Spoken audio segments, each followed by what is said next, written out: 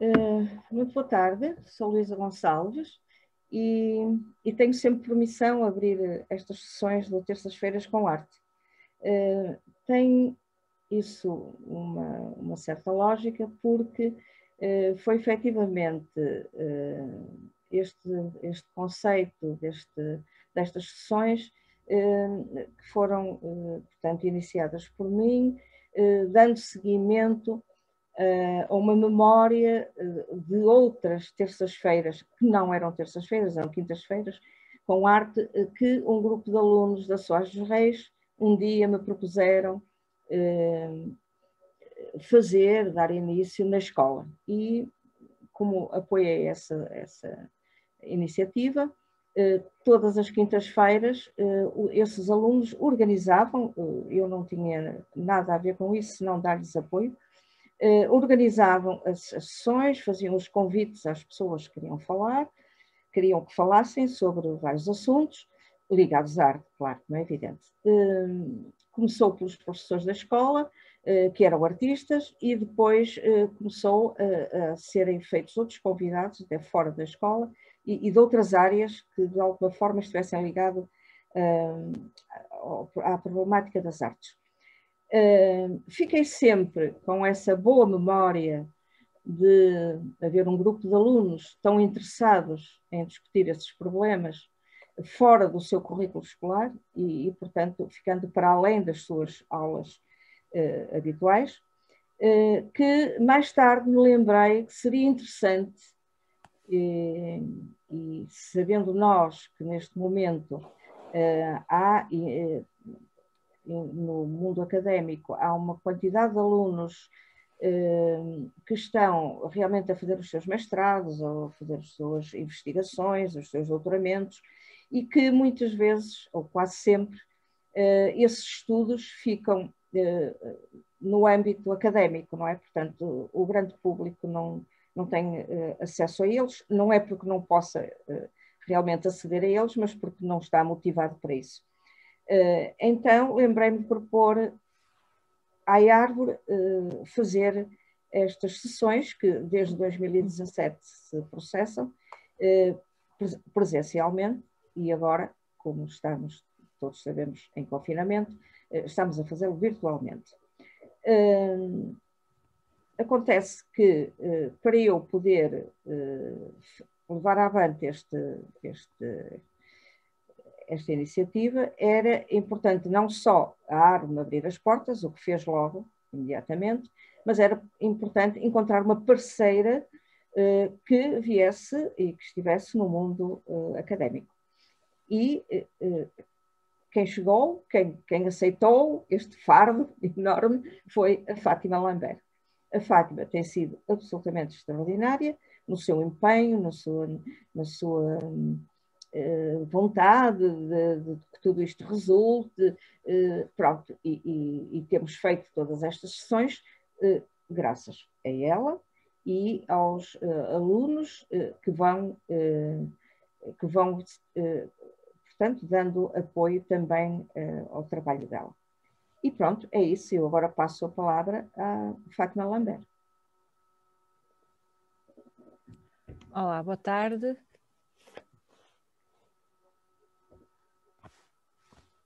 Boa tarde.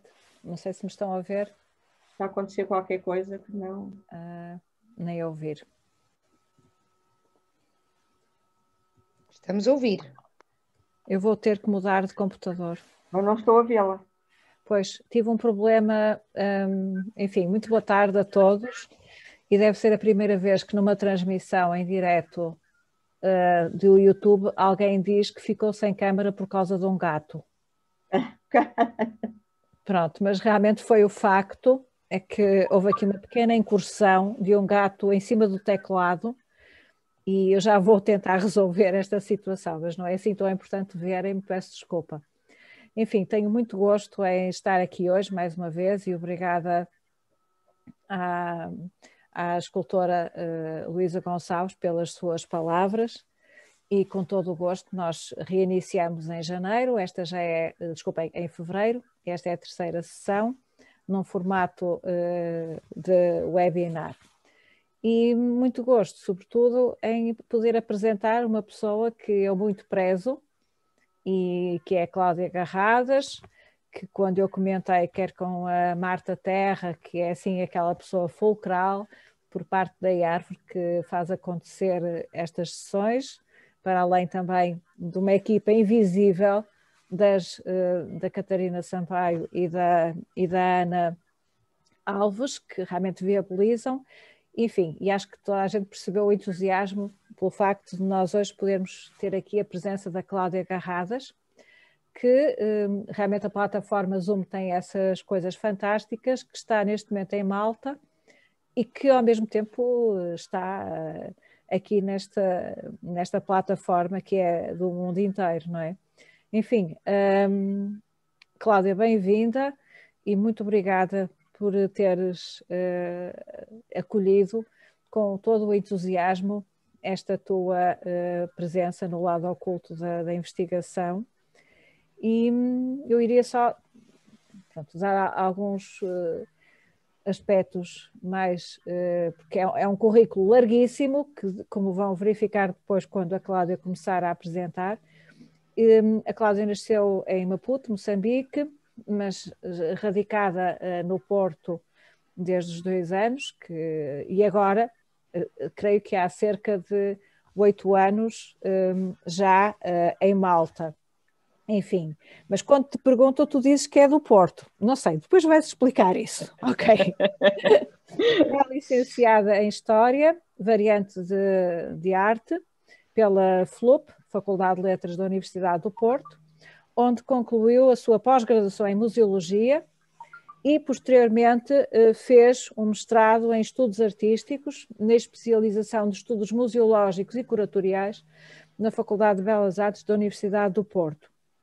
Enfim, a sua atividade profissional neste universo maravilhoso dos museus, que dá muitas dores de cabeça, mas é maravilhoso, iniciou-se em 1997, em dezembro, e precisamente no Museu da Faculdade de Belas Artes da Universidade do Porto, onde desenvolveu eh, e desempenhou tarefas várias, sempre com aquele rigor que pessoalmente eu também sempre testemunhei, diga-se de passagem a nível da gestão e catalogação de coleções, exposições, enfim, investigação que nunca, sempre tem perpassado na tua, na tua carreira.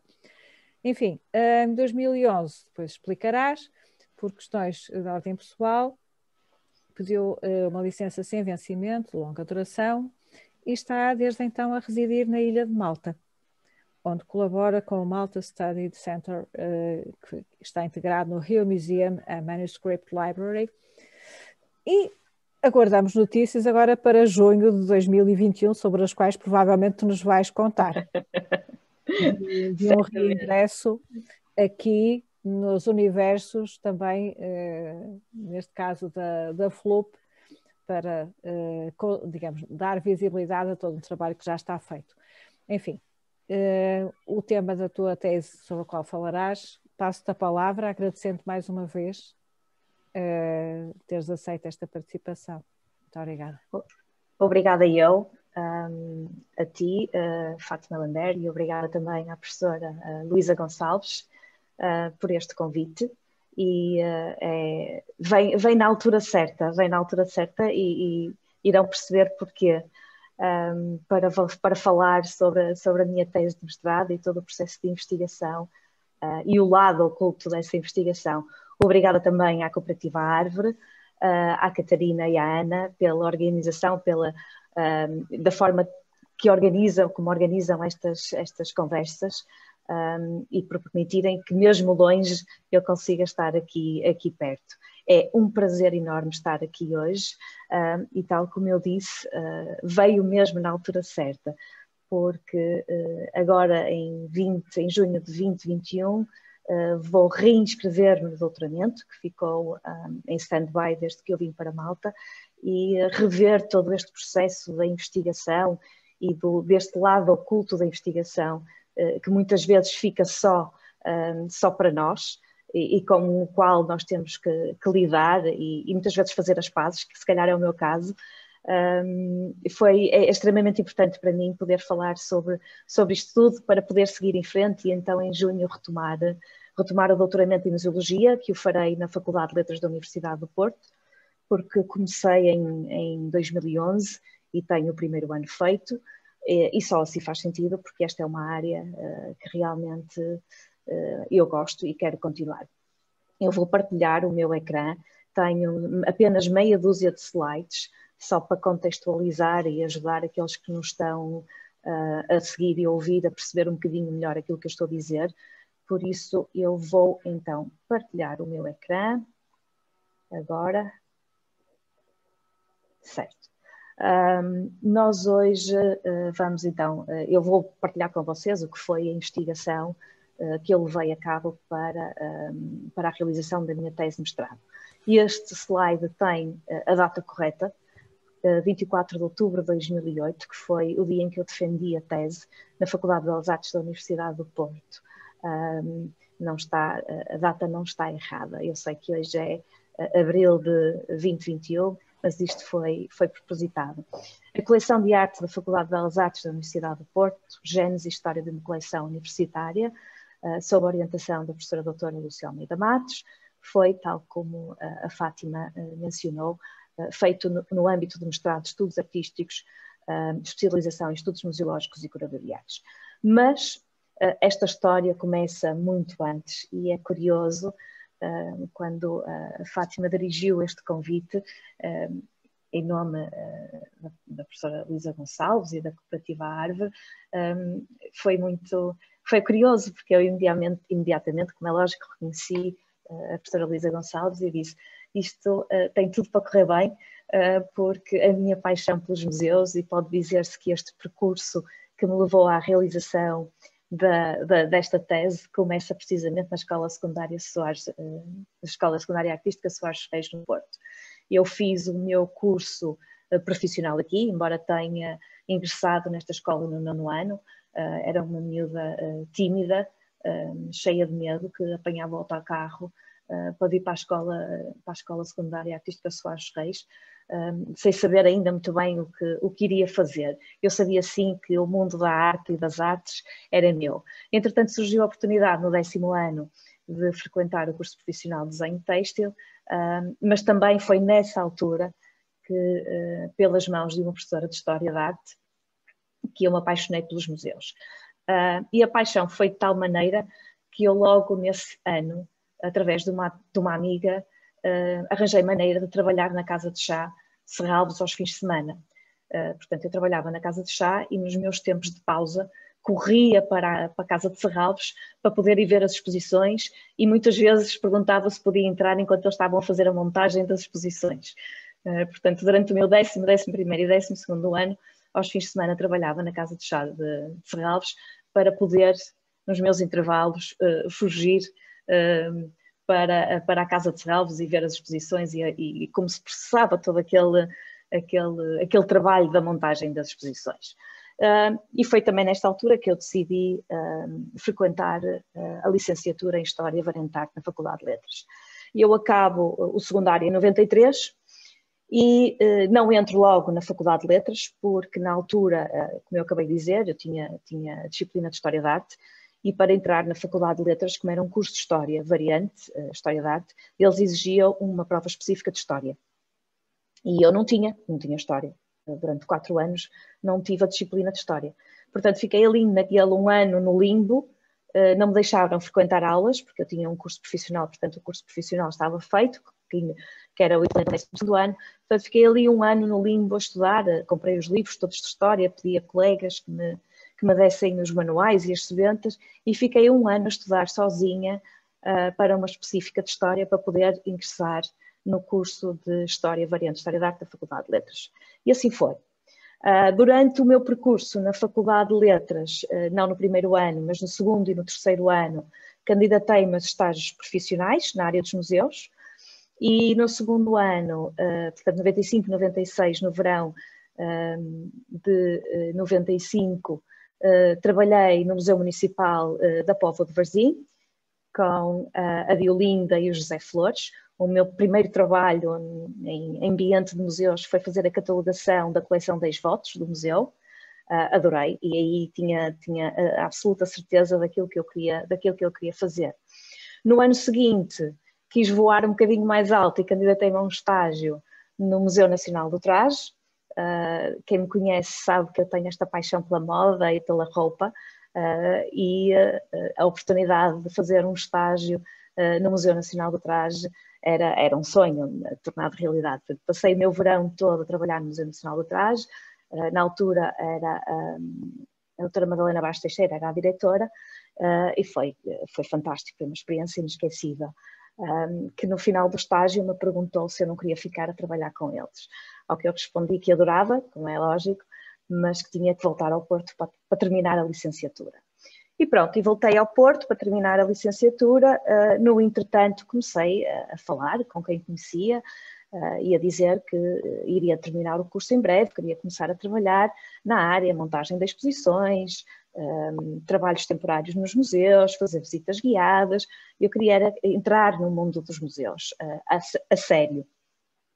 E em conversa com uma amiga, ela diz-me, uh, Cláudia, olha, deixa-me falar com a, a, pessoa responsável pelo Museu da Faculdade de Belas Artes, a doutora Lucia Almeida Matos. O projeto do museu acabou de, de começar uh, e se calhar eles precisam de alguém. E assim foi. Eu fui ao, fui ao museu, uh, tive uma entrevista com a professora Lúcia Matos, um, trocámos umas palavras, o que é que eu queria, o que é que eu não queria, o que é que eles procuravam, qual era a minha experiência.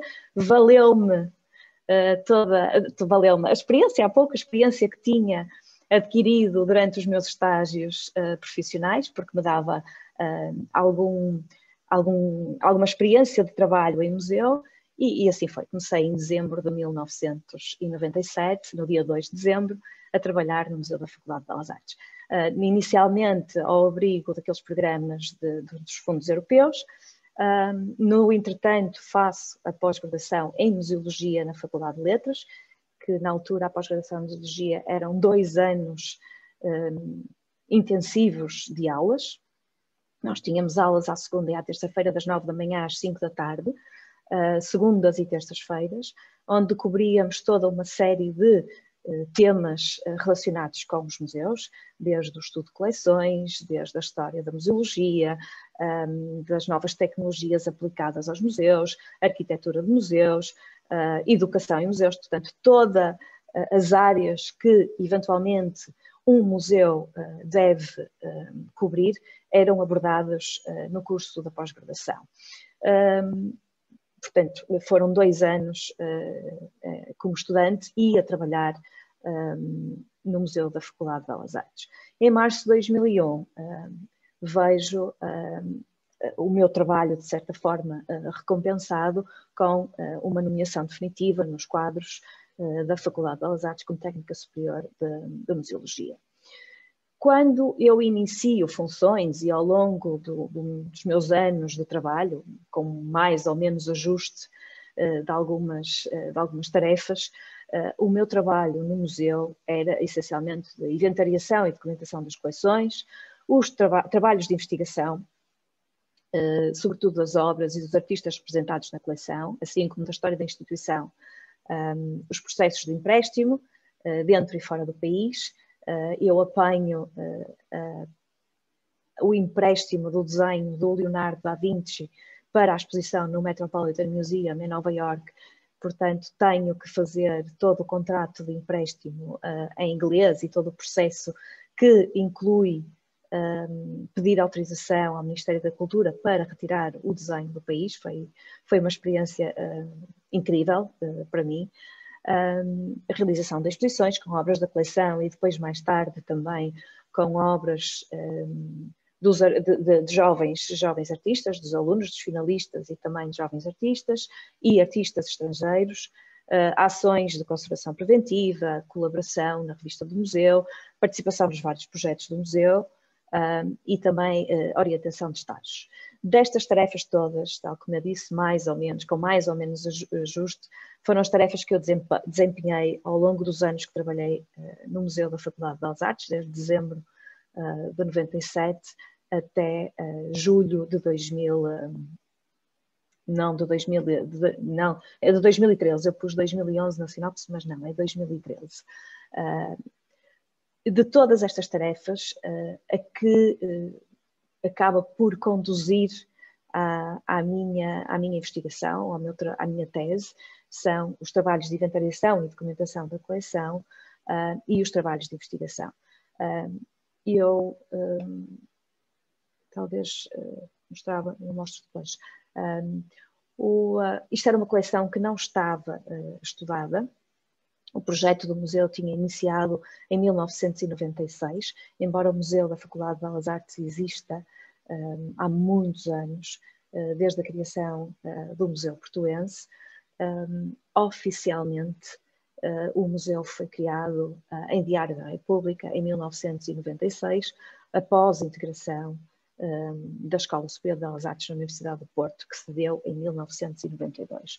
Portanto, o museu é criado em 96 como um serviço da instituição, uh, o que faz todo sentido, porque é um museu universitário e uh, cuja principal uh, missão é servir de instrumento de estudo e investigação. Este é o principal objetivo do museu. Claro que com o crescimento e a divulgação do museu, outras, outros objetivos eh, se começaram a associar, nomeadamente a divulgação da coleção, da divulgação da, da, da coleção artística, que reflete também uh, a história do ensino artístico uh, no país. Um, portanto, tudo, tudo isto começa, toda esta investigação que eu vou desenvolvendo enquanto uh, funcionária do museu, começa a ganhar corpo, começa, começa a ganhar começa a ganhar uma forma um, que só faz sentido uh, se for materializado, não é? E então, em 2000, 2004, no ano letivo de 2004-2005, uh, uh, não havendo mestrado de museologia nem no Porto, nem, nem em Lisboa, e aconselhada pela professora Alice Medo, eu inscrevo-me no mestrado em museologia em Évora uh, consigo obter equivalência a quase todas as disciplinas, um, porque já tinha a pós-graduação feita, uh, mas eles uh, pedem-me para fazer pelo menos uma disciplina, frequentar pelo menos uma disciplina. E perguntam-me logo na altura qual era o tema da minha tese, se eu já tinha alguma coisa em mente, e eu digo que sim, que tenho em mente fazer uma, uma tese sobre as coleções museológicas da Faculdade de Belas Artes, na altura era este o tema inicial, um, as coleções museológicas da Faculdade de Belas Artes na cidade do Porto, do Museu Portuense ao Museu da FBAP. Uh, eu frequento então uma cadeira um, do mestrado em Évora uh, e durante um ano letivo levanto-me todos os dias às 5 da manhã, meto-me no carro e vou de carro até Évora para ter uma disciplina, que na altura era com o professor Fernando António Batista Pereira, que era precisamente sobre catalogação, a importância da catalogação e documentação de coleções. Uh, passo uma manhã em Évora, todas as sextas-feiras, manhã em Évora, acabo as aulas e regresso ao Porto. Uh, e vocês poderão perguntar, então, mas e ficar em Évora uns dias, ficar o fim de semana em Évora, com tantas coisas bonitas para fazer? É verdade, algumas vezes fiquei, mas eu tinha sempre aquela sensação que passava o meu fim de semana na estrada, um, para além dos custos, não é? Uh, eu tinha que pagar a, a gasolina, uh, o gasóleo, as portagens, uh, claro, fazer as refeições em Évora, muitas vezes levava o lanchinho comigo, mas fazia as refeições em Évora, com os colegas também, porque era, era desagradável encostar-me a um canto a comer a minha sanduíche e não, e não estar com os colegas, um, e, e depois ficar uma noite em Évora na altura era extremamente caro, portanto eu optava sempre por regressar ao Porto. Foram uh, mais ou menos oito meses nisto, à sexta-feira ir e voltar, ir e voltar, ir e voltar. Uh, eu acho que isto ilustra bem a minha paixão pelos museus e pela museologia e o quanto eu queria fazer, uh, o quanto eu queria fazer esta tese. Uh, o objetivo uh, da tese uh, era partir de uma abordagem cronológica, portanto, eu queria traçar a história da instituição, porque eu vivia todos os dias com estes documentos. É? Eu tinha, à medida que ia fazendo a investigação, nós começámos, na altura, nós começámos com o estudo da coleção de desenho, por ser a mais frágil e a que precisava de mais intervenção a nível de. Um, e agora falta uma palavra, a nível de arrumação, a nível de storage, arrumar a coleção, a garantir que as condições ambientais estavam garantidas uh, para que a coleção pudesse sobreviver por muitos e muitos mais anos. Um, portanto, eu vivia no meio um, destes documentos, do, dos documentos gráficos, dos documentos do arquivo, porque toda a investigação foi feita no arquivo uh, da, da Faculdade de Belas Artes, uh, alguma bibliografia também, muitas conversas com, com pessoas que uh, conheciam a, a, coleção e que ainda eram professores da, da, da instituição, mas toda, todo o trabalho foi construído ao, ao longo do, uh, do, da investigação feita no arquivo da FBAL. Portanto, eu quando chego a esta altura, de 2004, 2005, eu já tenho muito bem definido aquilo que quero fazer com a investigação que ia desenvolvendo enquanto enquanto funcionária do, do museu. E, portanto, a investigação era mais ou menos isto.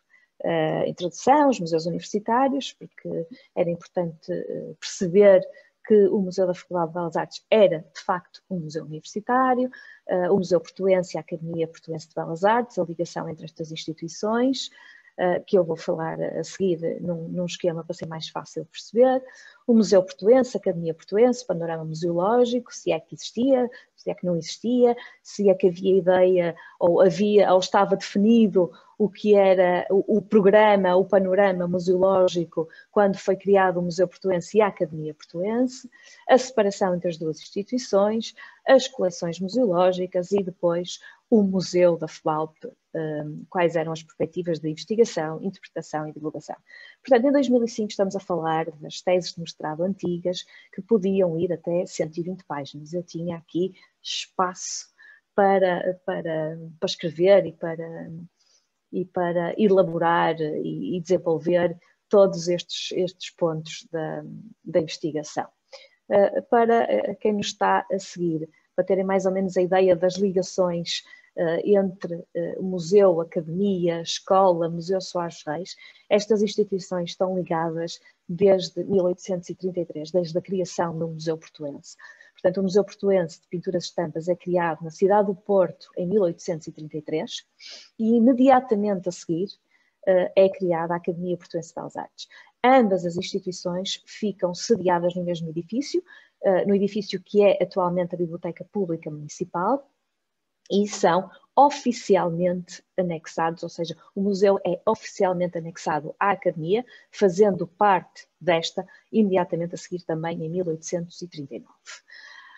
Os anos decorrem, a produção artística feita no âmbito da academia integra o museu, o museu é parte da academia, nunca houve uma definição muito clara entre o que era a coleção do museu, o que era a coleção uh, da, da Academia Portuense.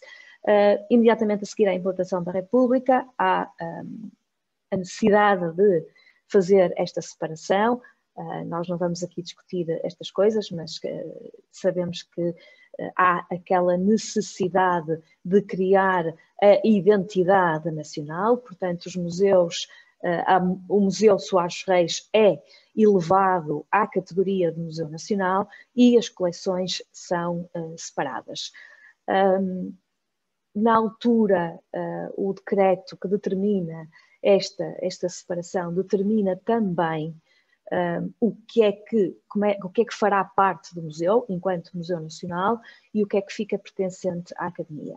Neste, neste caso, à Escola de Belas Artes.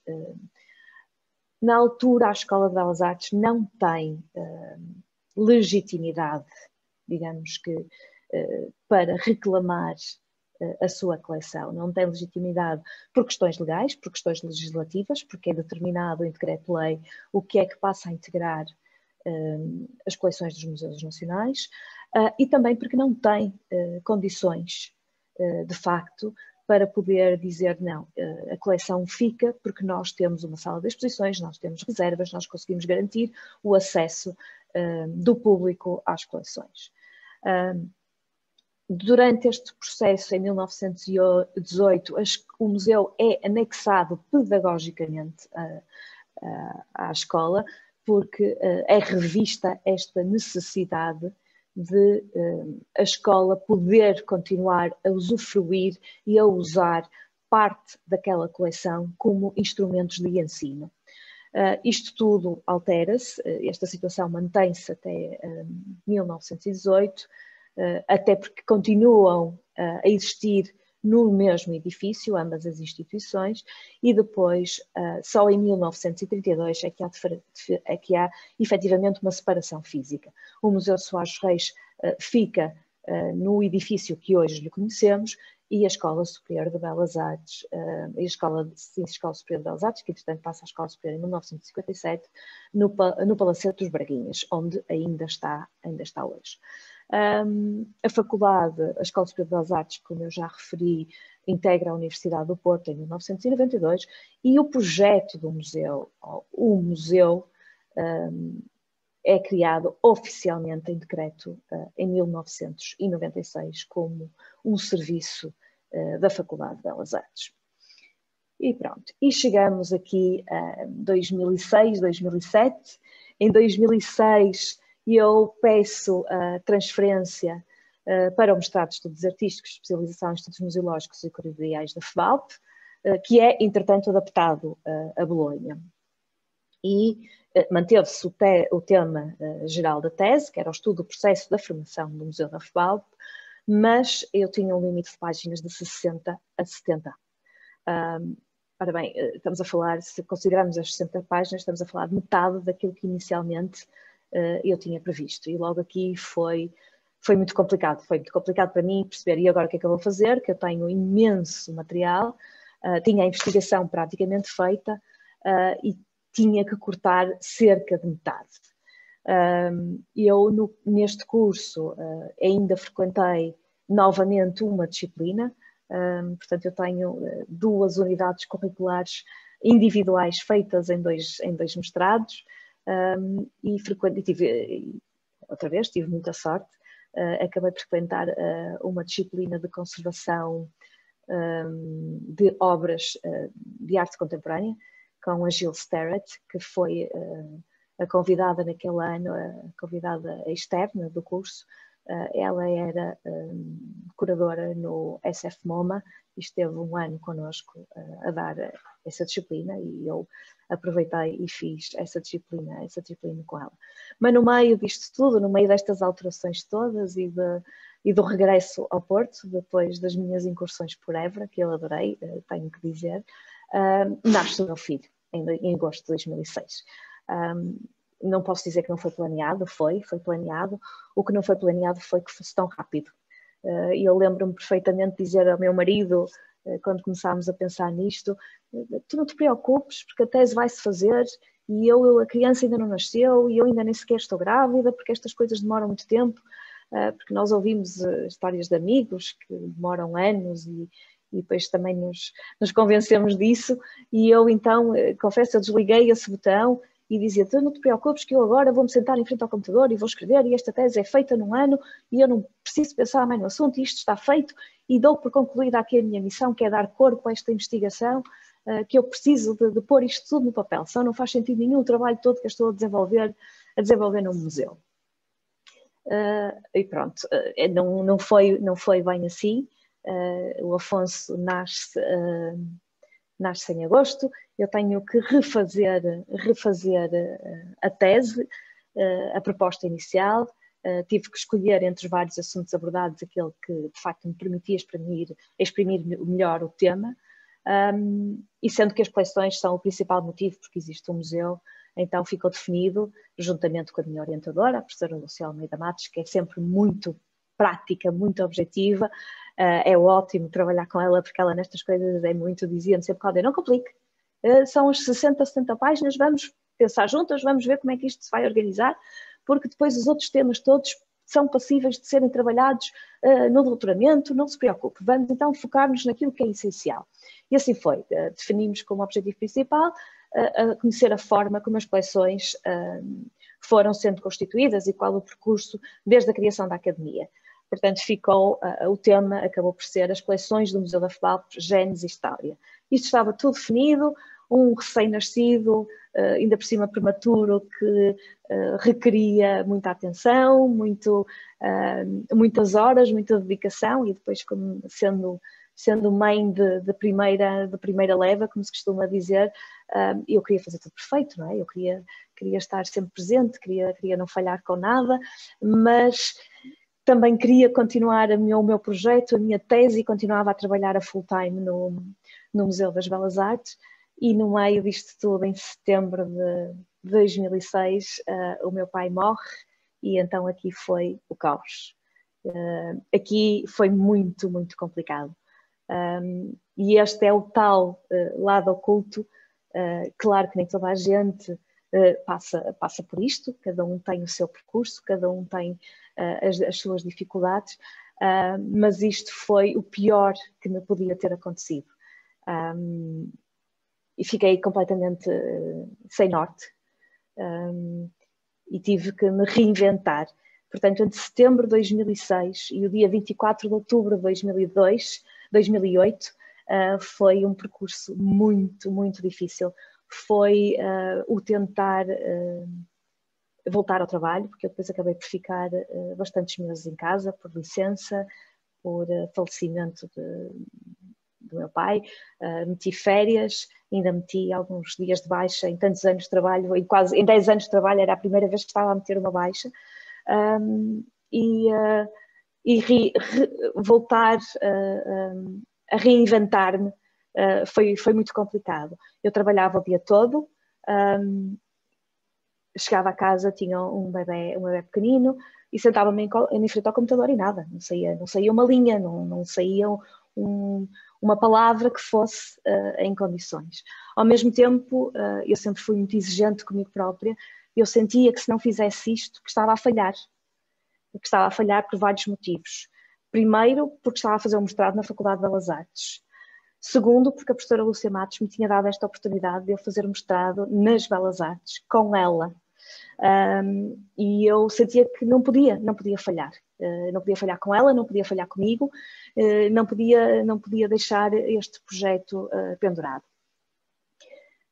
e continuava, continuava a trabalhar e o meu objeto de estudo e o meu objeto de trabalho confundiam-se muitas vezes. Um, e a determinada altura eu não conseguia dissociar a Cláudia, técnica superior de museologia, da Cláudia estudante, uh, porque estava tudo muito baralhado e eu estava muito, muito, uh, muito baralhada também.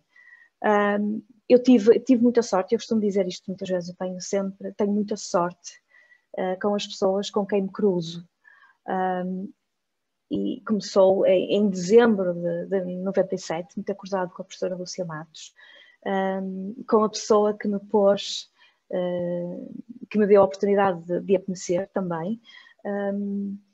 Mas também, também acredito que a sorte, eh, se não for acompanhada de um trabalho duro e, e persistente, pode morrer. E eu, eh, na determinada altura, pensei: eu tenho que fazer isto, tenho que fazer isto por vários motivos. Eu, se não fizer esta tese, e estamos só a falar de uma tese de mestrado, eh, a questão é que todo o contexto. Ehm, todo o contexto ficou virado do avesso de repente. Um, senão as coisas tinham sido feitas naquele ano, em 2006, 2007, teria, teria sido feito uh, sem, sem drama nenhum. E muito provavelmente eu não estaria aqui a, a falar disto, estaria se calhar a falar das dificuldades que tive com a metodologia e com as fontes que escolhi, que não tive, na verdade, não tive, porque uh, as fontes as fontes estavam ali, à mão de semear, e eu, eu, eu descia as escadas do museu, ia à biblioteca e ao arquivo e ficava a trabalhar fora de horas, uh, ou muitas vezes dentro de horas, porque fazia parte do meu trabalho uh, enquanto técnica superior do museu. E, e, e, em setembro de, de 2006 isto estava tudo muito, muito baralhado como estava a dizer, tive a sorte de encontrar, de ter as pessoas certas no meu caminho e a professora Lúcia uh, teve um papel preponderante neste, neste caminho como orientadora, como, um, como chefe, porque ela era a minha chefe, ela era responsável pelo museu, mas também, mas também como amiga um, e sempre muito prática, dizia-me, então hoje, hoje vamos trabalhar isto. Sim, hoje vamos trabalhar isto. Muitas vezes acabava, ao final do dia não trabalhávamos nada porque se metiam outras coisas. Uh, e então, uh, todos os dias, devagarinho, lá comecei uh, a escrever. Um, e lembro-me que a uma semana de entregar, da data limite de entregar a tese, um, eu tive, eu não tinha feito revisão nenhuma de nada com a, com a professora Lúcia, nada, porque trabalhávamos todos os dias, uma ao lado da outra, e tínhamos sempre muitas coisas para fazer, uh, e quando chegava ao, ao final do dia, uh, nenhuma das duas já tinha uh, ou vontade ou cabeça de olhar para a tese. E ela diz-me, não há problema, Cláudia, não se preocupe, vamos, este fim de semana vem para a minha casa, e só sai de lá quando nós fizermos a revisão da tese toda. E assim foi. Eu fui para a casa da professora Lúcia, fizemos a revisão da tese toda, eu fiz os últimos arranjos, escrevi, escrevi, escrevi, meti uh, pela primeira vez na minha vida, numa semana, dois artigos que nunca tinha metido, nem fazia a ideia que podia meter. E houve uma colega que me disse: Tu tens que acabar isso, mete os artigos, tu tens direito aos artigos. E eu: Isso serve para quê? Vamos descontar nas férias. Eu não faço ideia como é que isso funciona. Sou mulher, mete os artigos. Tu tá, podes meter esses artigos, sentas-te frente ao computador para escrever a tese.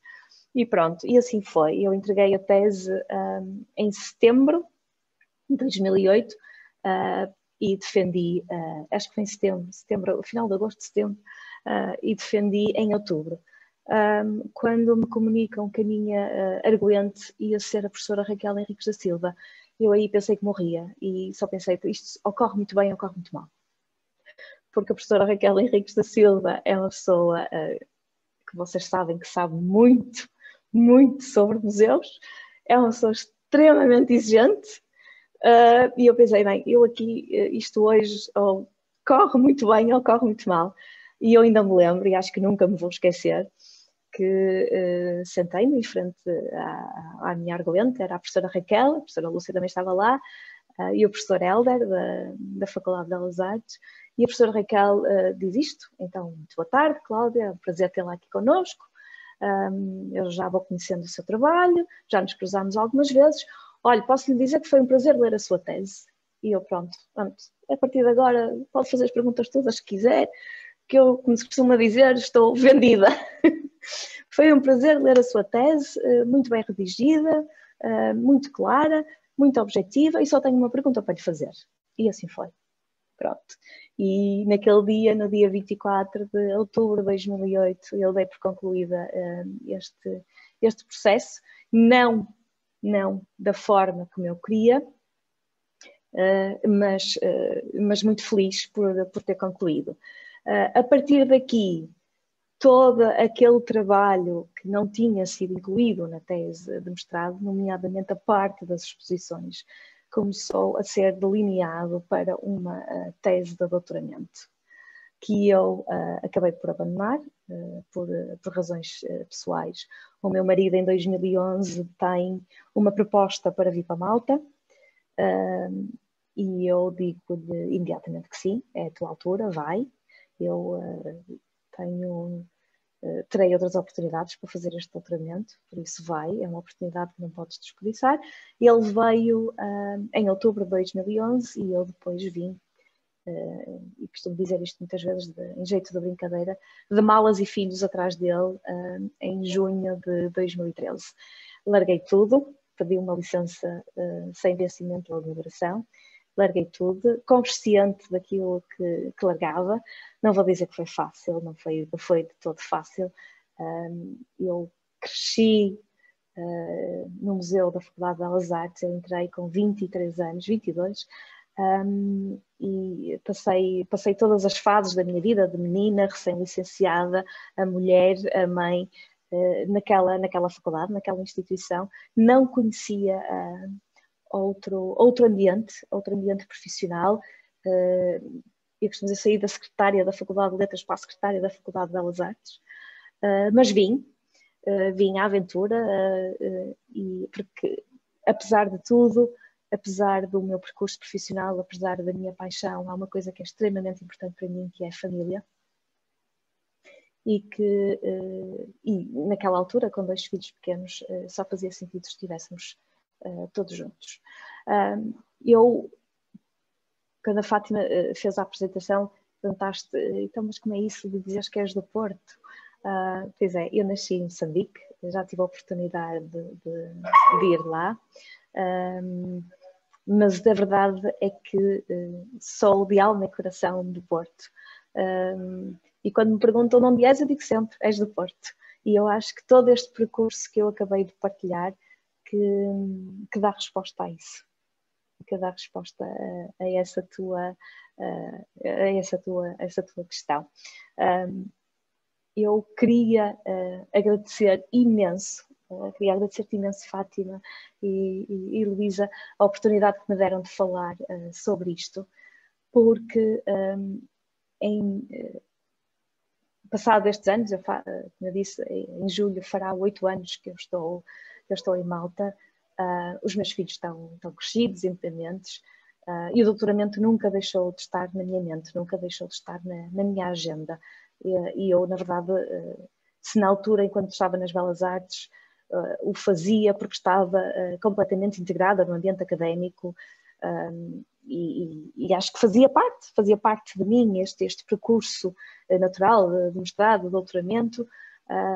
agora faço porque quero, porque não, não preciso de, de provar nada, Uh, não preciso dar provas uh, daquilo que, que, que, faço, daquilo que sou capaz.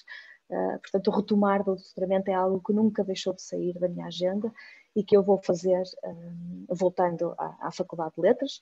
eu tenho o primeiro ano feito, portanto, não preciso de, de, ir fisicamente à Faculdade de Letras, ao mestrado de Museologia, posso fazer remotamente. E o tema que eu, na altura, tinha iniciado uh, ficou, uh, foi depois distribuído por outros alunos de mestrado, o que me deixa extremamente feliz ver que, e até a minha tese de mestrado, a minha tese de mestrado é, na, é serviu para abrir portas de uma coleção que nunca tinha sido, nunca tinha sido estudada. E efetivamente, nos anos imediatamente a seguir, eu vejo a referência à minha tese porque abriu a porta ao estudo daquele artista ou, ou abriu a porta para o estudo daquele evento, ah, como foi, por exemplo, o caso das Magnas e das Trianais, que eu sei que depois alguns alunos fizeram, desenvolveram trabalhos ah, a partir, a partir desse, desse, desses temas. E, e, não há nada que me deixe mais, ah, mais satisfeita do que isso, porque, na minha opinião, qualquer trabalho académico é exatamente isso: é o abrir de portas um, para outros estudos, para, para, outros, para outros trabalhos uh, de investigação. Uh, e o que eu queria dizer é que é obrigada, obrigada por, por me obrigarem a rever todo este processo que foi, uh, de certa forma, que foi no final, no final, naquele, se calhar na parte em que nós temos mais, mais prazer, que é o escrever, o, o, um, o dar corpo a toda a investigação que fizemos, para mim foi a, a parte mais, uh, mais dolorosa. Um, e que eu, de facto, acho que nunca, tirando as pessoas que eram muito próximas, acho que nunca falei sobre isto, porque depois de, de defendida, toda aquela excitação está feito, vamos embora, não se pensa mais no assunto. Uh, e eu, se calhar, precisava uh, de fazer as pazes com este, com este lado oculto para reiniciar agora o meu, o meu doutoramento em paz, consciente, consciente de que uh, tenho certamente muitas lágrimas pela frente e, e muitas horas de desespero, uh, mas tenho, tenho também, e isto é um ponto assente, que faço isto por mim, que eu vou fazer este doutoramento porque eu quero fazer. assim como fiz a tese de mestrado, foi porque eu quis fazer. ninguém me impôs nada, mas eu achei que era extremamente que era quase que uma obrigação, depois do, do, desenvolvido todo aquele trabalho de investigação sobre a coleção, que era uma obrigação enquanto profissional, enquanto uh, profissional de museu e alguém que estava ligada à, à academia, à Universidade do Porto, dar, corpo, dar corpo a esse trabalho. E foi exatamente isso que eu fiz. Portanto, mais uma vez, queria uh, agradecer-vos um, a oportunidade eu tenho uh, os slides da minha metodologia. Não sei se depois disto tudo e já estar em fase de agradecimento, se fará sentido. Posso depois partilhar um, esses slides, mas uh, se calhar terminava aqui e deixava para perguntas, se as quiserem fazer, e deixo-vos com o desenho do Henrique Pousão, que é sem dúvida um dos meus artistas portugueses preferidos tem uma obra uh, fantástica e muito completa e é o artista que ilustra muito bem a história da coleção da Faculdade de Belas Artes e deixo-vos com um desenho um, que não está completo, porque eu acho que nós nunca estamos completos quando, nos, quando estamos nesta, neste mundo da investigação, do estudo, porque estamos sempre à procura de mais, sempre à procura de, de mais um bocadinho. Portanto, eu acho que este desenho que ilustra Uh, pelo menos para mim, aquilo que eu acho do, do continuar a estudar, de continuar a investigar, uh, nunca está completo, fica sempre algo, uh, algo mais para aprender. Obrigada.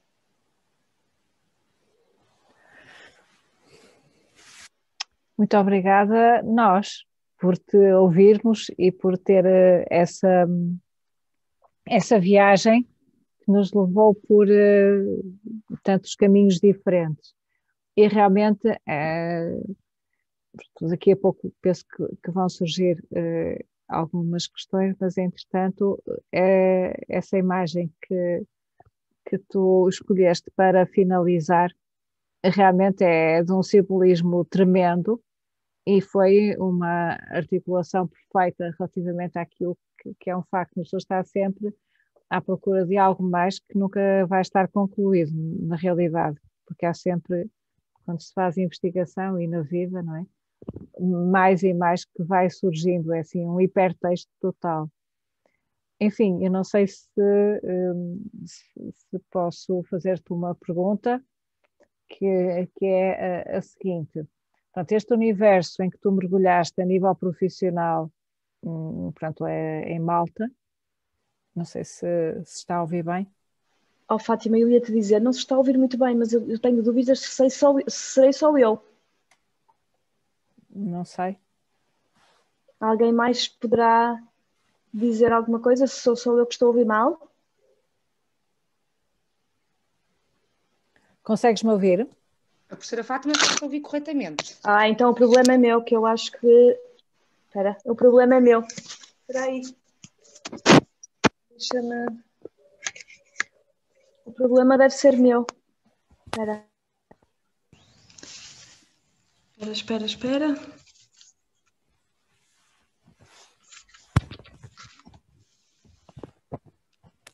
Deixa-me só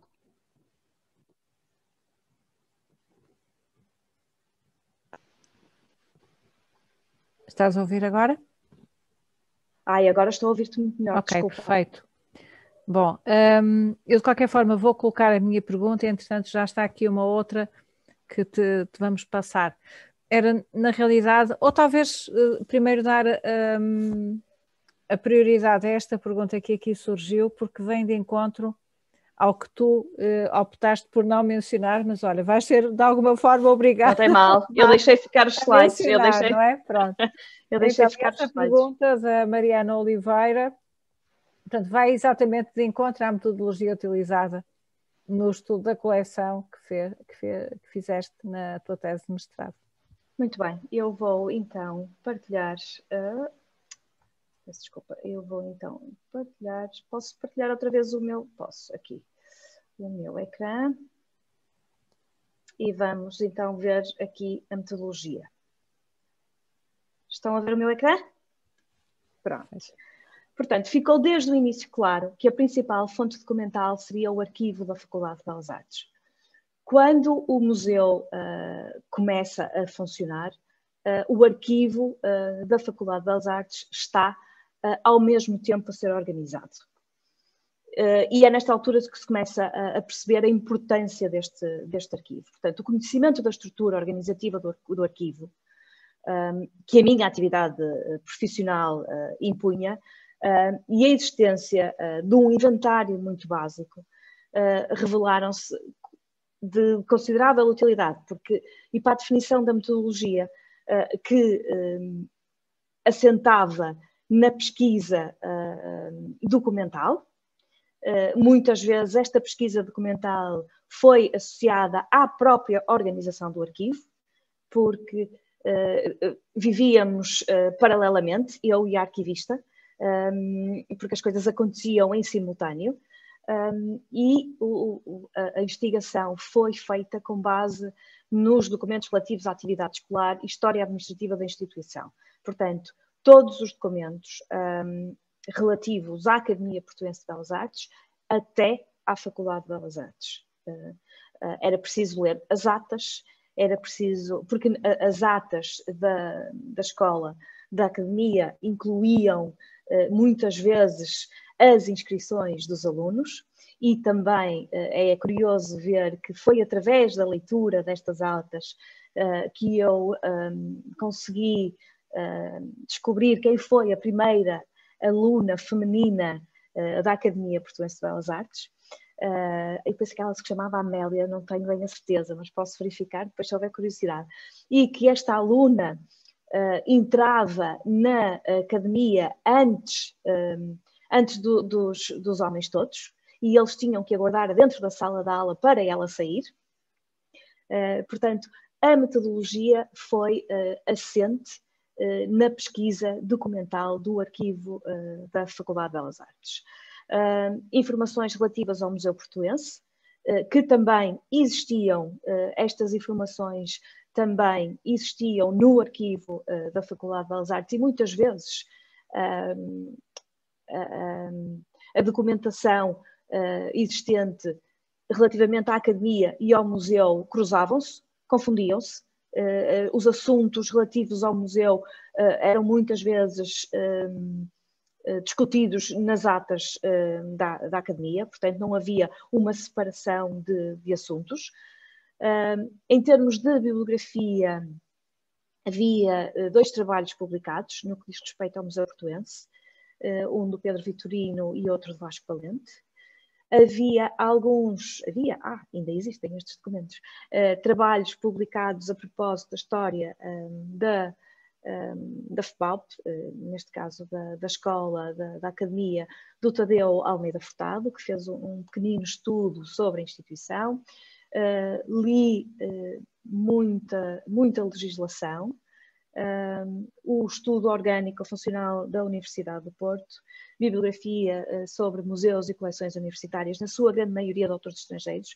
Na altura davam-se os primeiros passos uh, relativamente ao estudo dos museus universitários em Portugal. Uh, li os catálogos das exposições realizadas na instituição, porque minha, o meu projeto inicial incluía o estudo das exposições, uh, as trienais no tempo da academia, uh, que estas eu revi de fio a pavio, uh, mas também as magnas, já no tempo da Escola Superior de Belas Artes. todo o conjunto de documentos legislativos produzidos a propósito das reformas do ensino artístico, porque uma vez que a coleção reflete a história do ensino artístico em Portugal, era importante, e isso está na minha tese, sobretudo no volume 2, uh, perceber as, os, as, as grandes alterações do ensino artístico, uh, porque quando a, a academia começa, uh, o ensino artístico é feito em desenho, pintura, escultura e arquitetura, por esta ordem, e a determinada altura os alunos uh, acabam por escolher só desenho ou só pintura, ou, minto, o desenho é sempre a base da pintura e da escultura, acabam por escolher só a pintura, só a escultura ou só a arquitetura, portanto era importante que eu lesse toda a documentação legislativa, todos os decretos produzidos a propósito das formas do ensino artístico, um, o arquivo do Museu Nacional Soares Reis, sobretudo uh, os livros de correspondência recebida e expedida entre 1932 e 1940 e depois 50 e 60, e também o Fundo da Direção-Geral do Ensino Superior e Belas Artes, que se encontra no arquivo da Secretaria-Geral do Ministério da Educação em Lisboa. Portanto, estas foram as fontes documentais. A metodologia adotada foi sempre uma metodologia um, com base qualitativa, de, eh, de desenvolvimento qualitativo Uh, de, uh, de, no âmbito cronológico. Portanto, o objetivo era traçar uh, um estudo de âmbito cronológico. Quando é que a academia começou, quando é que a coleção foi formada e qual foi o desenvolvimento desta coleção ao longo dos anos até à criação do Museu da Faculdade de Belas Artes. Eu espero ter respondido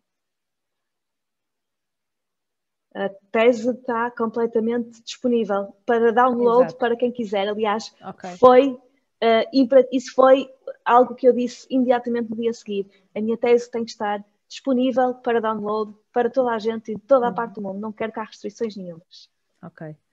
Não, é que faz, um, faz sentido.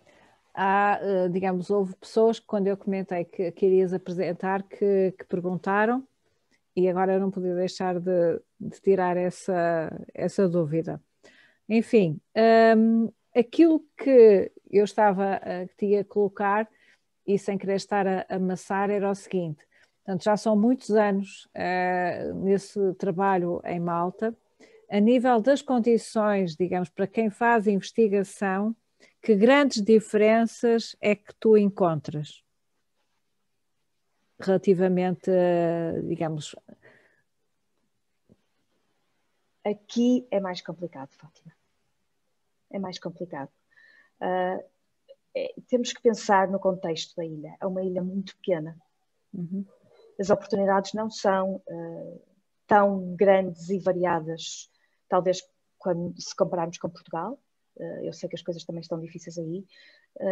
há uma universidade com diversos, Universidade de Malta, com diversos departamentos, mas uh, as oportunidades de investigação são, são muito complicadas, o que leva, um, eu, diria, eu não queria dizer atitudes, o que leva muitas vezes as pessoas a serem mais fechadas e a dificultarem mais o acesso uh, à documentação. Eu trabalho para uma instituição cujo trabalho é cujo objetivo é precisamente facilitar esse acesso. Portanto, uh, o Malta Study Center, que faz parte do Hill Museum and Manuscript Library, é uma instituição que não existe fisicamente em Malta, embora eu seja a representante deles aqui na ilha, não existe fisicamente em Malta, foi criada por malteses, eles estão ligados ao Hill Museum, que está sediado em, uh, no Minnesota, em Minneapolis, St. John, uh, mais concretamente, e eu sou a representante, estou a representante deles atualmente em Malta. Eles estão uh, a trabalhar na ilha desde 1973 com um único objetivo: divulgar uh, e disponibilizar gratuitamente toda a documentação, todos os arquivos que existem sobre a Ordem de Malta uh, e a Ilha de Malta, uhum. quando ligada a, a, esta, a esta ordem religiosa. Uh, e eu tenho encontrado, uh, tenho tido algumas conversas, às vezes assim um bocadinho acesas, precisamente uh, sobre o trabalho que desenvolvo e o quanto as pessoas aqui ainda não estão nesse ponto, de que a informação deve ser disponibilizada, de que a informação chega para todos e que a colaboração traz mais benefícios um, do que problemas, do que, do que, eu tenho uma atitude uh, perante isto que é eu se não estou a investigar, uh, vamos dar um exemplo sobre uh, comida, sobre alimentação ou sobre moda, toda a informação que eu encontro eu partilho com as pessoas que sei que estão a fazer esse trabalho. Portanto, aqui, relativamente à tua pergunta, aqui a investigação é muito mais dura, muito mais dura, muito mais fechada e as pessoas são muito mais competitivas. Uhum. Pois. Mas a nível daquilo, digamos, do trabalho que, que tens desenvolvido, realmente tem sido um. Imagino que extraordinário. Por um lado, eh, deve ser extraordinariamente sedutor, porque sei que encontraste documentação quase que inimaginável e com uma linkagem a Portugal, assim, um pouco imprevista por vezes. E não só.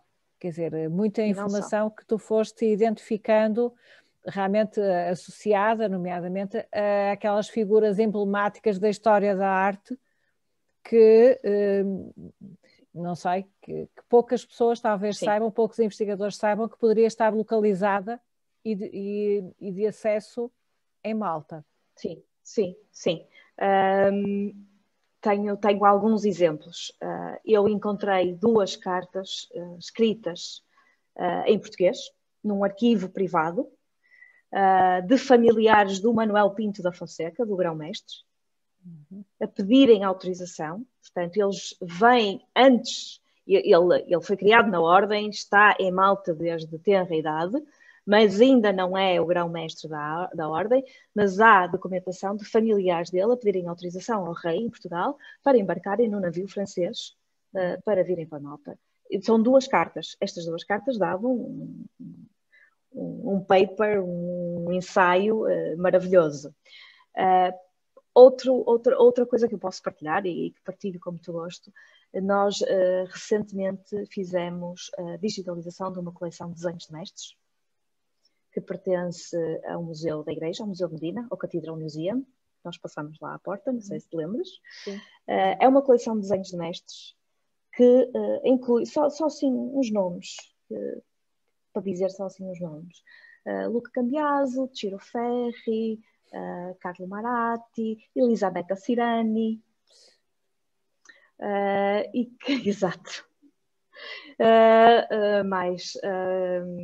uh, mais Giovanni Paggi, Andrea Del Sarto.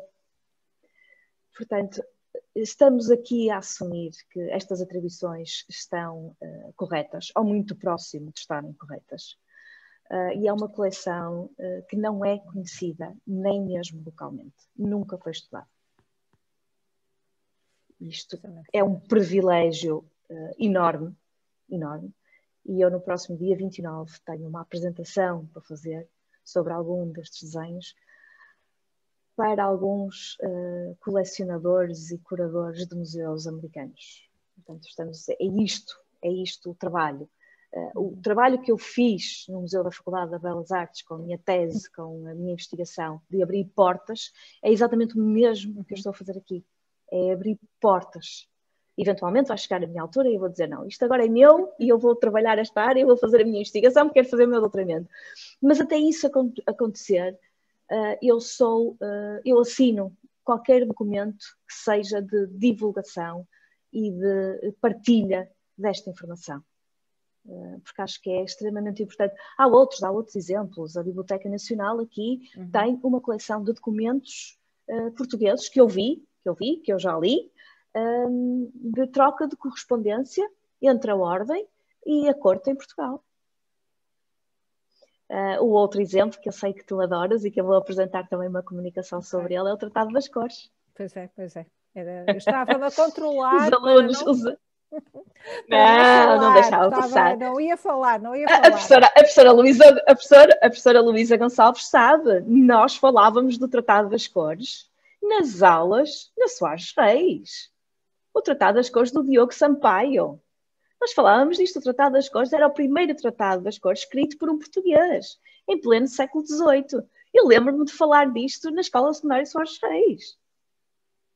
E lembro depois de falar disto, porque eu, eu na, na, na, Faculdade de Letras escolhi fazer estética com o professor Diogo Alcoforado, era uma, uma, disciplina de opção. E eu escolhi fazer estética. Portanto, nós falávamos disto. E quando nós estávamos a fazer a digitalização do, da coleção do, do, Museu de Arte, eu, eu leio Tratado das Cores. E eu, oh! não, não posso. E por momentos pensei, não, isto é um facsímile, porque sabemos que há um facsímile na biblioteca, na, na biblioteca Pública Municipal e abro o, o, livro, o manuscrito, e começo a ver que são uh, os originais pintados por ele. Incrível. E eu não, não aguentei, eu, eu, eu, fiquei de tal forma, eu estava a dizer que a, curadora do museu disse, Cláudia, tu estás bem? Oh, Cláudia, aconteceu-te alguma coisa? E eu disse, aconteceu, aconteceu, que eu acabei de ver algo que ouço falar desde que, que é na secundária. Eu nunca tinha visto um original. Eu sei que há um, que há um livro, aliás, eu tenho um livro que foi escrito sobre, sobre o Tratado das Cores. Uh, agora não me lembro, até posso ir buscar ali, não me lembro do nome, ah, estão a falhar o nome. Um, ele é professor na Universidade, na Universidade de Coimbra e também sei que foi referido numa tese de doutoramento do, do, professor que fez sobre o estudo da cor na, na Faculdade de Ciências. Bem, esta, esta memória de peixe e os, e os nomes deixa-me sempre ficar mal. mas a verdade é que eu nunca tinha visto o original. Não, se há dois exemplares pintados pela mão do Diogo Sampaio, é, é, muito. Eu acho que aquele é o único que está efetivamente pintado pela mão dele. Pois. E isto não se sabe. Isto não se sabe em Portugal. Uhum. Não, é incrível. Mas digamos que essa, portanto, é, essas digitalizações uh, são para estarem depois disponibilizadas? Está completamente disponível. Posso-vos mandar o link e vocês podem ver. Podes usá-lo nas tuas aulas, se quiseres está disponível. E a qualidade das imagens são absolutamente fantásticas. Absolutamente fantásticas. Pois, porque na realidade, quer dizer, tu acabaste de falar de uma palavra mágica, que é a qualidade. A qualidade. A qualidade das digitalizações. E, na realidade, eh, esta semana, aliás, a partir de amanhã, se não estou em erro, vai hum, se iniciar em Lisboa, quer dizer, em Lisboa, Mundo, vá, uma, um congresso que é o Art Museums and um, uh, Digital Culture. Uhum, uhum. E que é organizado pela Helena Barranha, entre hum, pronto, uma comissão, que eu não vou estar aqui a mencionar todas as pessoas. E, na realidade, isto são questões que hum, começam agora a, a ser uh, efetivamente abordadas, tratadas, que já não é só aquela questão de pensar, ah, será que a cor daquela pintura que está no website X é exatamente e corresponde à tonalidade da obra, não é? Pois, Mas pois, também a própria, uh, pronto, outros detalhes, não é? De, do recorte da imagem ser mais à esquerda, mais à direita, ou seja, o que tu mencionas desse rigor da digitalização, quer de imagem, quer de, de bom, enfim, uh, o texto também passa a ser imagem, mas é algo que hum, é muito complexo. E que... Uh, é algo que é muito complexo, uh, mas uh, outra experiência e que, que pode ah, ajudar a ilustrar aquilo que eu vou dizer, sem qualquer sentido pejorativo, mas eu aprendi a trabalhar com americanos. Eu aprendi a trabalhar com americanos e os americanos não fazem nada a 50% não fazem nada. Uh, é de uma exigência. Uh, o meu diretor, uh, aliás, o fotógrafo trabalha connosco já há muitos anos. ele, antes de começar qualquer projeto, ele tira uma série de, de, de fotografias, são fotografias digitais, não é? De imagens digitais, e envia. e envia e o diretor diz sim, está em condições, avançamos. Mas ele tem que fazer isso periodicamente. Ele tem que enviar para ele atestar a qualidade. Uh, e do outro lado não está só o diretor, mas toda uma equipa de imagem uh, a, avaliar, a avaliar isso. Uh, portanto, nós já trabalhamos há muitos anos com a, a Grayscale, não é? as imagens, o, o, o, manuscrito, uhum. a fotografia é tirada de forma a que tu tenhas a percepção do que é o objeto, a imagem não é cortada, nós trabalhamos com um fundo preto precisamente para poder uh, ser isso feito. Trabalhamos com alta qualidade e as imagens são feitas em um, JPEG e RAW. Sempre, sempre. Uh, a qualidade tem que ser uh, ao máximo. Nós, e a, e a, a regra é devagar e com qualidade. Porque se não tiver qualidade, ele manda tudo para trás e nós temos que fazer tudo outra vez. Não há aquela coisa do opa, tá, tá bonzinho. Não. Tem que estar excelente. Tem que estar excelente, mas a todos os níveis, a níveis de imagem, a nível de catalogação, a nível de vocabulário e terminologia utilizada. Pois. Eu acho que é esse o nível que nós temos que. Uhum. Não, é, não é só Portugal, é em, Sim. É em muito lado, é em toda a parte. Temos que, uh, temos que elevar temos que elevar sim, sim, sim, uh, esse, esse, nível, porque cada vez mais é o digital. Cada vez mais e... é o digital. Sim, e, e, na realidade, quer dizer, eh, eu penso que esses contributos a nível das digitalizações estão a possibilitar, a possibilitar uma aceleração, mas no bom termo, não é uma aceleração gratuita, mas no sentido que tu podes ter acesso à documentação que na realidade de outra forma, e por exemplo, em contexto pandémico, como é que uma pessoa poderia ter dado continuidade às investigações que está a fazer sem a possibilidade de uma deslocação e na realidade sem poder ter acesso àqueles websites que uh, o grande problema está nisso que acabas de comentar, não é? É que como é que determinadas pessoas que estejam ainda a iniciar uh, modalidades de processos de investigação, como é que vão adivinhar, não é? Qual a fiabilidade, a credibilidade de determinados websites. Pronto, a partir é claro que, que, se é a Biblioteca de France, a Nacional de France ou o British Museum, uhum. a partir já tens uma garantia. Mas, uh, enfim, uh, as fundações têm desenvolvido, uh, enfim, à semelhança da, da fundação em que tu estás, outras por diferentes países, trabalhos, na realidade, que são invejáveis, no bom sentido sim, também do termo. Sim, sim, sim, sim, sim. Sim, esta pandemia uh, obrigou uh, as instituições museológicas, as instituições, uh, as galerias, as instituições de ensino, os arquivos, a repensarem na forma como disponibilizam a informação. Uhum. e como, como a querem fazer. e acho que que tem, tem os seus benefícios, sem dúvida nenhuma. Um, eu, quando, quando sou convidada para falar sobre, sobre o trabalho do centro, um, falo sempre nos benefícios disto, um, da digitalização, do acesso fácil uh, à, à, documentação, no acesso fácil uh, às imagens, alertando sempre, alertando sempre para o sentido crítico, para o uhum. sentido crítico e para a, necessidade eh, de perceberem, eh, sobretudo eh, os miúdos mais novos, digamos, os, os do primeiro ano da universidade, de perceberem que a vida existe para além do ecrã, que a investigação existe para além do ecrã. Claro.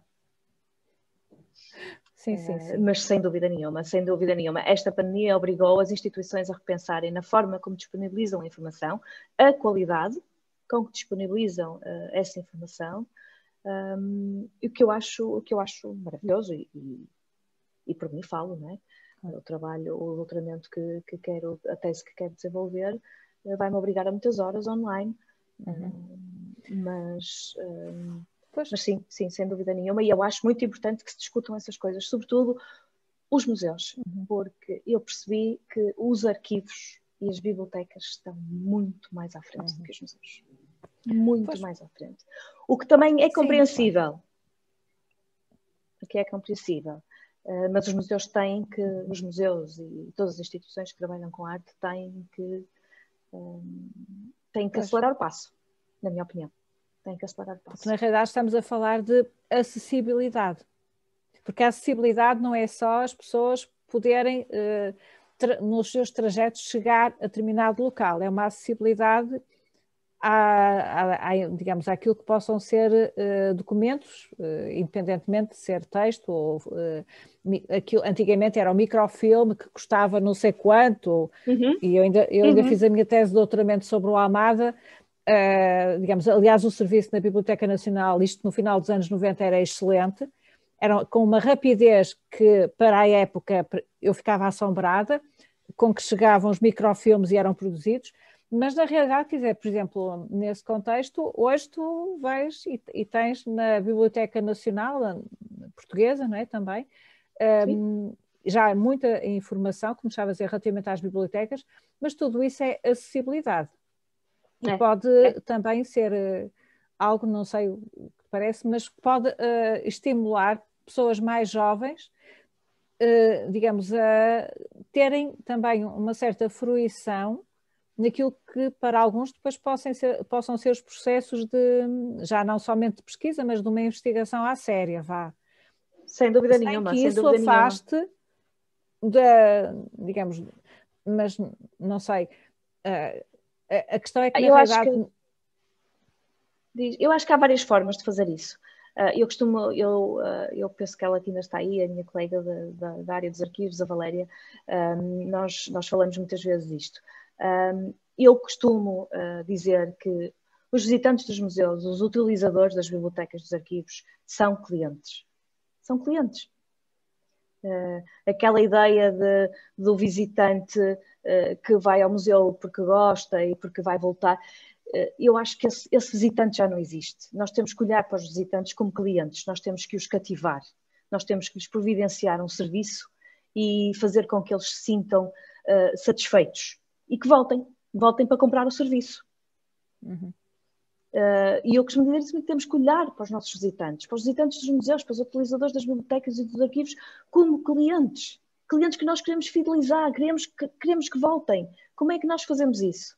Temos que ser criativos. Temos que fazer com que eles se envolvam e se sintam e que façam parte, façam uhum. parte daquilo que estão a ver tenham uma parte de responsabilidade na divulgação, na preservação, no contexto que é criado. Eu costumo dizer isso muitas vezes. Claro. Olhar para eles como clientes. Sim, sim, não, totalmente. Qualificados, vá. E que também Sim, querem sim. um, obviamente, uma, uma, que querem ter uma, que a oferta seja realmente fidedigna, não é? Que, e que Exato. seja qualificada, não é? Agora, também, e no caso de, de alguma documentação do que tu falaste, seria possível, era muito improvável que uma quantidade grande de pessoas pudessem estar a manipular, digamos, seria impossível. Não. Quer dizer, Impossível. é impossível. Estamos a falar de documentos do início do século XVII. Muitos deles. Impossível. Portanto, digitalizá-los mesmo- é perpetuá-los. É. Nós, aliás, o nosso projeto é um, um projeto de preservação. A missão do Malta Study Center é preservation. É essa a nossa missão. Hum, porque não há outra forma, não há. Com todas as questões, e tu começaste a falar nos microfilmes, e que todas as questões que isto envolve, não é? Porque depois temos o outro lado da, da evolução da tecnologia, e esse é um dos grandes problemas dos museus e das instituições, uh, é a necessidade de terem que adaptar a tecnologia, de terem que adaptar o equipamento, de terem que, uh, que ter pessoas formadas com o avanço da tecnologia, porque hoje em dia estamos a utilizar uh, RAW e JPEG e imagens digitalizadas, mas já estamos a falar em realidade virtual, em 3D e, e se calhar, não é? É essa a grande dificuldade, é os museus, que são a instituição tradicional, uh, conseguirem acompanhar. E, e, repara, e mais uma vez, sem, sem sentido pejorativo nenhum, eu aqui há tempos dei uma aula na universidade acerca do Museum Professionals um, e queria mostrar o percurso das belas artes que, que, de facto foi pioneira nesse do, do, do, museu, foi pioneiro, porque o museu criou o website onde Sim. tinha o inventário uh, online e onde tinha as exposições virtuais. O museu, o museu das Belas Artes realmente foi fantástico. Nós fizemos aquilo em dois anos com, com os alunos de design. Na altura foi com o Zé Carneiro, foi ele que orientou o projeto. Um, e eu falei com o Luís, oh, Luís, olha, dá-me aí o acesso, eu preciso ter acesso ao inventário do museu, porque queria mostrar como é que nós começamos e como é que as coisas evoluem. E o Luís disse-me, oh, Cláudia, tivemos que o retirar porque não, não conseguimos mantê-lo atualizado. E eu percebo, eu percebo perfeitamente. Precisavam-se certamente só de uma pessoa para fazer isso. Claro. Nós sabemos muito bem como são as estruturas, não é? Claro. Como são os recursos humanos. E as pessoas não fazem milagres mesmo que trabalhem das 8 da manhã às 8 da noite, não fazem milagres. E eles nas Belas Artes estão a fazer um trabalho, no museu estão a fazer um trabalho fabuloso. Incrível. É. Com a divulgação da coleção, Sim. incrível. Excepcional. Aquele pavilhão de exposições é um sonho. É, tens que vir ver de novo. É? Tenho, tenho mesmo, tenho tens mesmo. Uh, mas de facto não podem, não conseguem manter o inventário, a parte digital atualizada. Não. Que é perfeitamente normal. Normal. Pois é, e de repente eu esqueci-me que estamos uh, no canal YouTube em direto e que já estamos, não sei, a roubar aqui muitos tempos e a ti também. Uh, não, com enfim, muito gosto. Foi assim, uh, pronto, foi, foram vários lados ocultos da investigação que foram aqui revelados e que eu penso que, que podem servir de estímulo e que há muitas pessoas que estão, uh, digamos, a iniciar ou a meiar, como na história da raposa, não é? E a, ou a finalizar uhum. as investigações, mas que é sempre esse processo uh, pronto, plasmado no belíssimo desenho do pousão que tu nos uh, trouxeste. E, embora ainda, ainda não tenha recebido nenhuma ameaça de que temos que finalizar, penso que uh, hum. talvez fosse. Eu não faço ideia há quanto tempo estamos a falar, mas oh, que não sei. Há uma mas, hora e meia, mais ou menos. Ah, tem aqui umas mensagens de que podemos continuar, que estão a dizer que nós podemos continuar, que querem que continuemos. Mas enfim. Ah, mas, pronto. Mas enfim, mas na realidade. Façam perguntas, façam perguntas. Façam perguntas, porque eu já estou a esgotar a, a, a minha. Embora depois te pudesse perguntar mais sobre a Elizabeth Cirani mas, uh, mas ah, maravilhosos os desenhos são ah, maravilhosos Fátima, eu posso falar contigo eu mando os links tem que, tem que, tem que ver não, há aqui uma, uma pergunta uh, onde é que se pode aceder à tese é no, no, portanto, na, no recap. No repositório aberto da Universidade do Porto. É. É. Portanto, é fazer um Google Se tiverem dificuldade, é, é. Cláudia Garradas, tese mestrado, é. Uh, História e Genes da coleção está das disponível artes. para fazer download, não é? Muito bem. Está, está completamente Enfim. disponível. E se por algum motivo o link não estiver a funcionar, entrem em contato comigo que eu disponibilizo o PDF. Ok. Pronto, normalmente, quer dizer, em algumas ocasiões há pessoas que, que vão visionar, portanto, eh, nós vamos deixar ficar depois alojados, depois de ser eh, editado no canal YouTube do Centro de Investigação, do INED, do, uhum. Centro de Investigação uhum. da Escola Superior de Educação do, do Politécnico do Porto, uhum. e por vezes surgem perguntas que depois nós canalizamos para uh, tá os palestrantes e entretanto com muito gosto. Portanto, ficam estes canais abertos, vá, para a investigação. Sim. Enfim, mais uma vez obrigada. Obrigada Ficamos eu. a aguardar novas uh, presenças uh, para já nestas plataformas e depois uh, também claro que, que, que venhas de novo cá. Claro que sim. Obrigada a todos e obrigada por, por estar, quem esteve desse lado a ouvir-me. Até Não, breve. Obrigada, mais uma vez. Obrigada. Obrigada. Então, até... Obrigada. Boa noite.